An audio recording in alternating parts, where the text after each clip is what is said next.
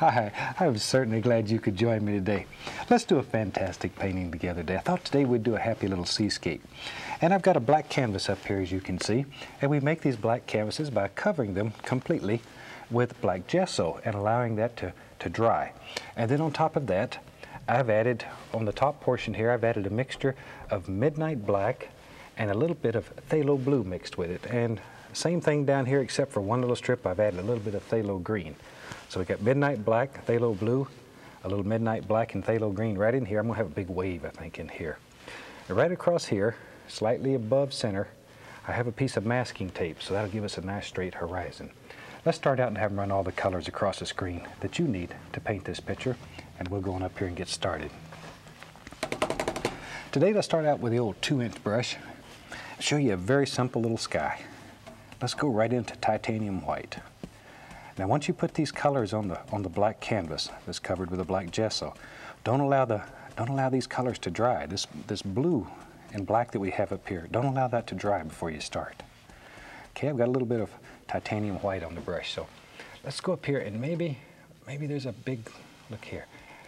We'll just come right along in here and do something like that. We're gonna check you out for bravery today. Just, just bring it right in here. Now see, it's going to pick up the color that's on the canvas and all kinds of fantastic little things will happen. Want that a little brighter right in there. Now I'm just going to start using little X's, little X's, and blend it. Now this continually will mix with the color that's on the canvas and things will happen. Beautiful little things will happen. I'll pull that straight down right here like there's a little light coming out from under this big cloud. There. See? Just pull it down. Like so. Hmm. This is a nice, easy way to make a very effective sky. And you can also use this for landscapes. It's, it's not only for seascapes, it'll work with some of your landscapes that you're doing too. Just using little crisscross strokes and blend it.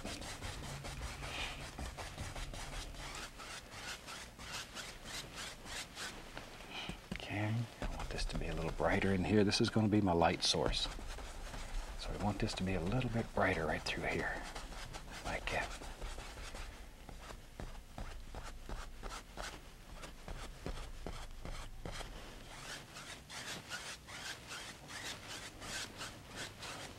See, isn't that easy?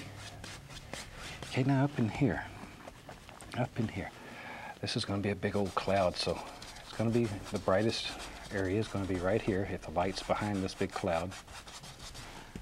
So we'll start here with our lightest color and just let it blend outward. But I want to retain this dark edge. There we go. Boy, this is going to be a mean looking old seascape. The storm is coming. You better get out your wading boots if you live close to the ocean. Mm. Good dark sky, mean guy. And when you're painting, make up little stories. Think about it. Think about little things that are happening in, in your mind. Just, just visualize little things, and it'll help you create the mood that you're looking for. There we go. Now then, maybe let me grab an old fan brush here. Still using just titanium white. Just load a little color on here, back and forth. Maybe there's a happy little cloud that lives right up in here. And just use the corner of the brush. Just the corner of the brush. And you can put a little cloud in there. We just put a couple in so you can see how to do them. And when you do your seascape, you put as many or as few in as you want. Maybe there's one. He does right there. He lives right there, and he's got a little friend named George. He floats right around out here. There we go. Okay, now we can take the large brush, and I just want to blend the base of this cloud, not touching the top yet at all. See, just the base. And give it a little upward flip and lightly blend it. And that easy, you got a super little cloud. A little what here, a little bit there. Give it a little fluff.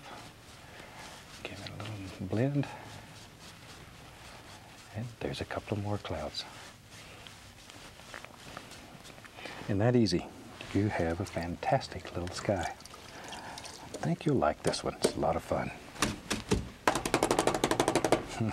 Nothing else you'll like cleaning the brush. That's the most fun in this whole technique. Now then, as I said, we had a piece of masking tape across here.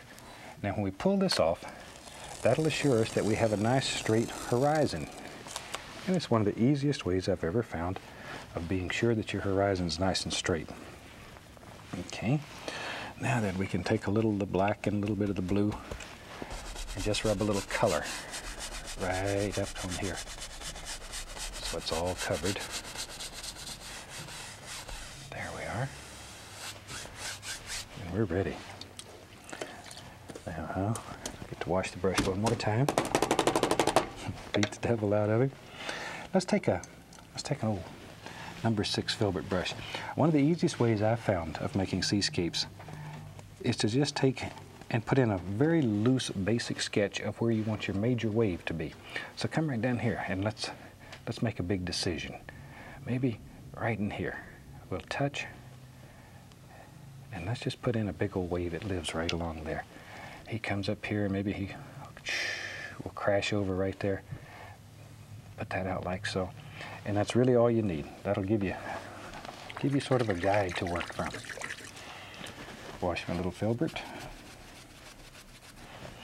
Okay, let's take a fan brush. We'll put a little white on it. And we'll make some of these little waves that are way back in the distance here. This is your light area right in here. So I'll start here and just begin rubbing a little bit of color. This is just straight titanium white, but it's picking up the color that's on the canvas. So all these little things will just automatically happen. And just just let your hand sort of rock here. So you get little openings in there. There we go, a few of them over here. And let it just work right on out. If this is our light area, start here and work toward the side, allowing it to get darker and darker as you work away from the, under that light area. There we go. See how easy that is? And it makes a beautiful little, looks like a little ocean back in there. There we are, just right on out. Okay, now then we need some big strong waves in there. A little more white on the brush. Figure out where they're gonna be. And we'll come right up in here and go bloop. Gotta make those little noises. And maybe it comes right on back here. We don't, somewhere back in there. What the devil, we don't care. Maybe we'll have one more right here wherever you think they should live. Like so. Okay, now I'm to wipe off the paint, wipe the paint off my fan brush, and very, very lightly here. I just want to grab this and begin blending it back. Just begin blending it back, like so. See? But the angle here is very, very important, very important. And save that little dark edge right there. See, that's what makes it settle out. Okay, now we do that right here. And then a super neat little way to make some happy little waves. And it's very easy. Very easy. Let's put a little more paint right in here. Like so. And then we can do the same thing here on this one. Just blend it back. There we go. There we go. See, seascapes don't have to be all that hard. Okay, same thing in here. Put a little paint. I like this part. That's that's the part that really crashes in there. Blend it back also. A little bit right in there. And you can see how that's beginning to, to make all your little little wave effects. And we'll come back and we'll highlight that and really bring some of them son of a guns out a little later on. But right now, we're just looking for background material. Wash your fan brush. And I have some paper towels over here that I dry the brush against. Just wash them in paint thinner and then dry them on a paper towel. Let's take, we'll take some white, and the least, least little touch of yellow. I'm using the filbert brush here, but white and the least touch of cad yellow. Still should almost look white, but there is a little bit of yellow in there. Okay, let's make the fun part. Let's make the, the eye of the wave here, or the transparency, whatever you want to call it. Okay, just scrub in a little bit of color. Whew. And then let it start working back, back, back, back. Darker, darker, darker as it gets away from it. Darker, darker, darker. Right on around. Okay, now then. You may want to do this step several times to achieve a desired lightness. And you can do it over and over and over till it gets as light and as bright as you want it. Okay, let's go back, throw in a little more color. Each time you do it, it's going to get a little brighter. A little bit brighter. But each time, clean your brush before you take it back into the, to the transparency.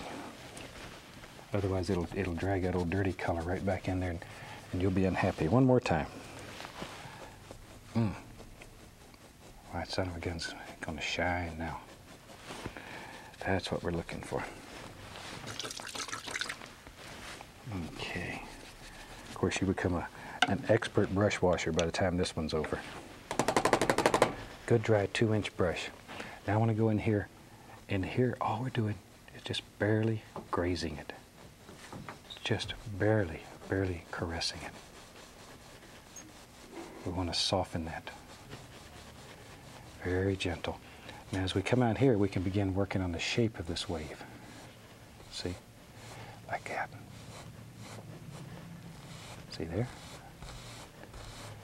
See, just grab it and begin, begin forming this son of a gun. Hmm, isn't that easy? I knew you could do it.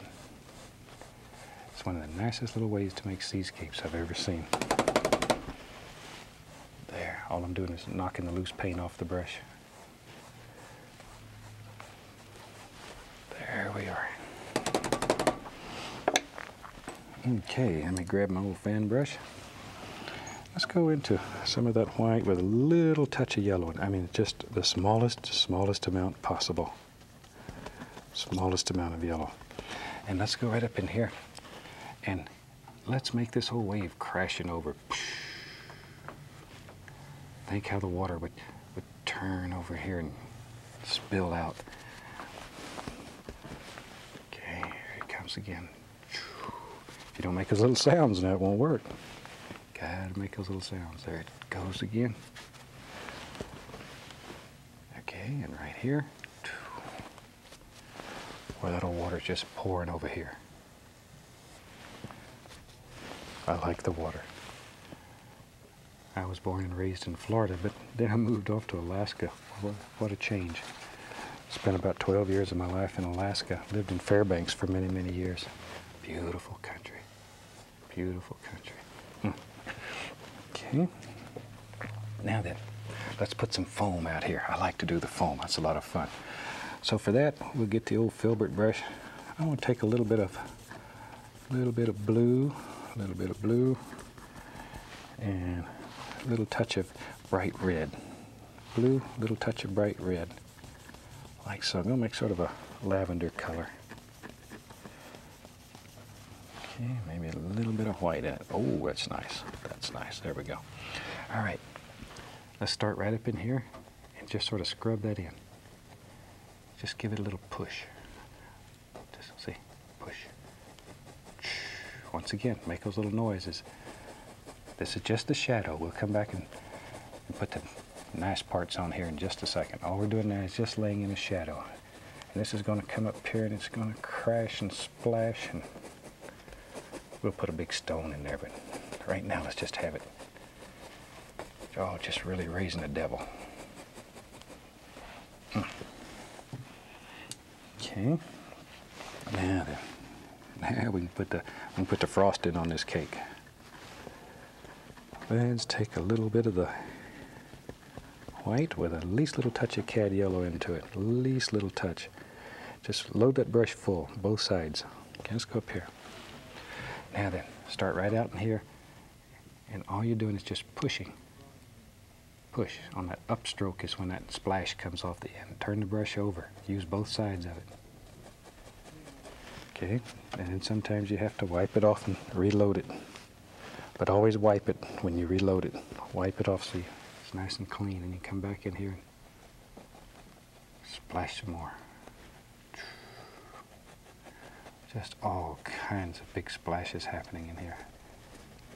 Look at them. Mm. Mm-hmm. There we go. Here's. Well, it's just flying all up in the air, like so.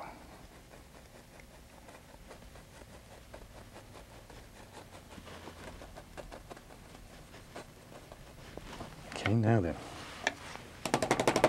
back to our big old two inch brush. We're going to use just the corner of it, just the corner, and very lightly, making tiny, tiniest little circular strokes.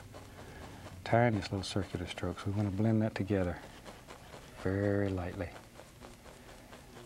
Make it very soft. Just, just like so. There we go. There.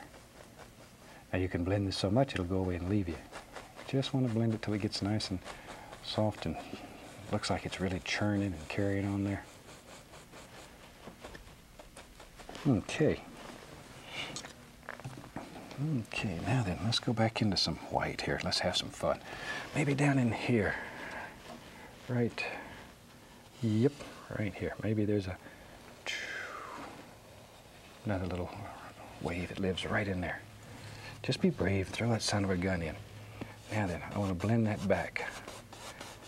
Now you notice up here, that phthalo green we put in really shines, but down here where it's in the shadow areas, this is more in the shadows, the blue and black really work nice. Sort of, sort of have in your mind what you're going to do and, and think about where you're laying the colors when you lay them on there. There we go. So now we can begin blending this together.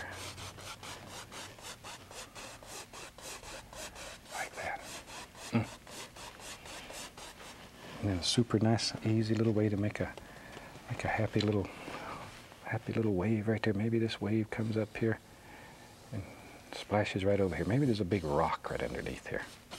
Who knows? Who knows? In your world, you can do anything that you want to do. See, maybe this comes down and splashes right up through here. I don't know, just wherever you want it. Just let the water go. And all we're using here is just titanium white. That's all we're using. Just let that water run up through there. Then blend it back very softly. Hmm. See there? You can do it. Maybe it comes here. Maybe we said there was a big stone there. There. Just wherever you want it. There. Can almost see through that. Mm. All kinds of things happening under this water. We don't know what's happening here.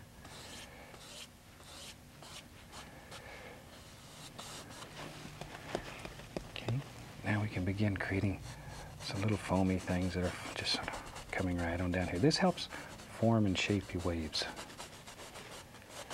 You need some shape in here.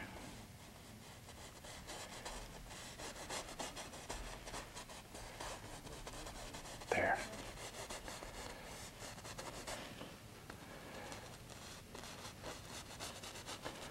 Hmm, just let them climb right up the wave.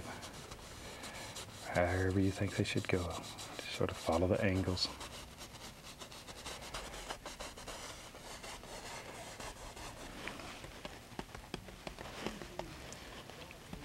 But you can just hmm, lay in bright little highlights.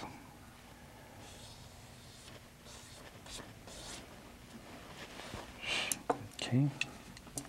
I'm to take my liner brush now and go right into titanium white with a little paint thinner on the brush, a little paint thinner just to thin the paint. And let's go right up in here and let's begin adding some of these nice little things. This is paint thinner with titanium white. And we can put a little edge right out here on this wave. Just a happy little edge. Maybe there's all kind of little things just splashing right on down here. Hmm. But your paint needs to be very, very thin. The consistency of ink. Can just put all these little rascals wherever you want them. But follow, follow the basic shape here.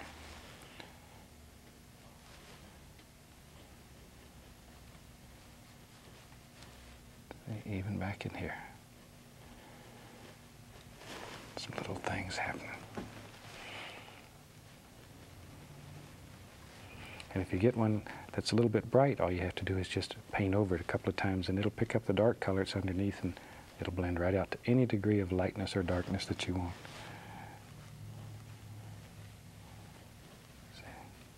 Put in little light areas just by doing that. Maybe right down crest of this here. Little things are happening.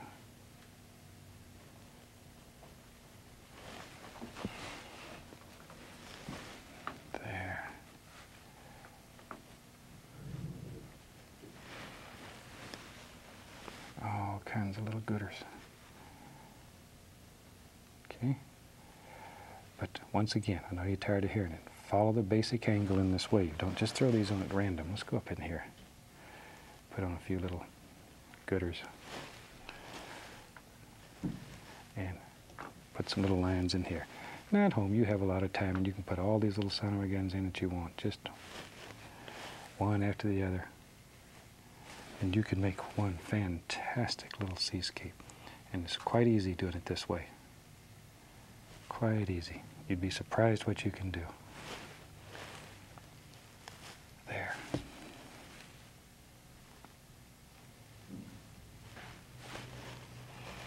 Okay, now right into this light area, you want your brightest. And as you work out, add more blue, a little more of the phthalo blue. So these out here aren't as bright.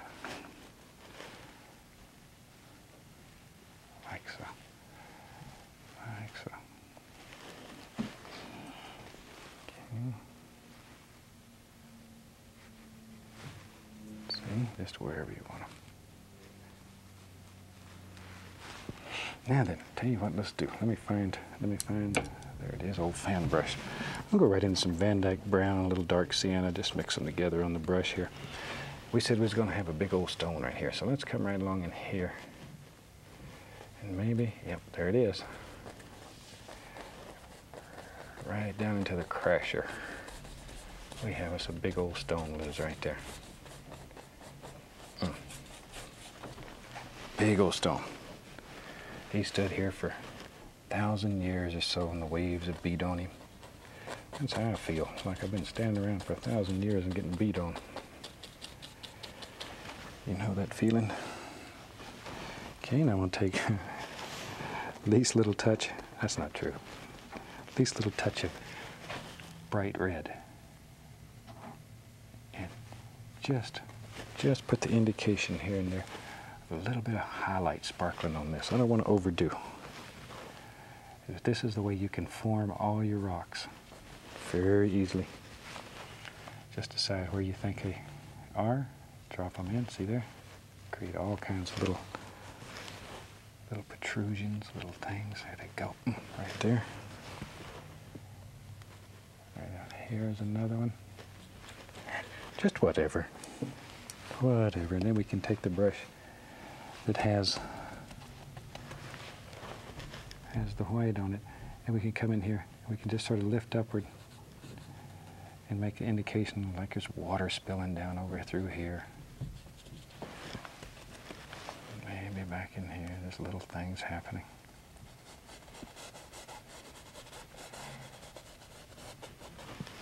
Okay. Now you can just begin adding some little details here and there.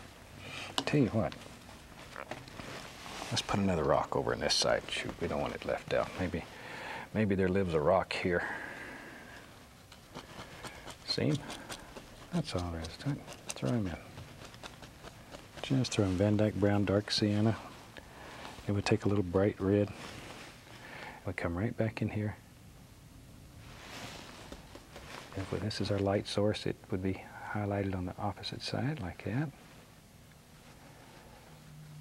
Put in a few little gooders. Back to our fan brush here that has the white on it.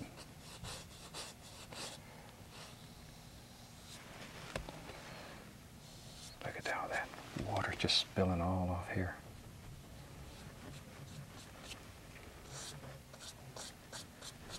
All kinds of little things happening. Take the liner brush and really put some nice little water lines on where it's all coming off. Put all kinds of happy little details in here. So I say at home you have all kinds of time and you can just you can just work with this and put all these little little areas and little highlight spots. It'll really make a beautiful painting. Beautiful painting. You can even take a little color and punch in some holes like looks like there's holes in the foam. That easy. And I think we got a painting here that's ready for signature. Take a little bright red on my liner brush, thin it down with paint thinner, and I'll sign this one. I certainly hope you've enjoyed this little seascape. It'll teach you a great deal, give you hours and hours of pleasure. And from all of us here, I'd like to wish you happy painting and God bless.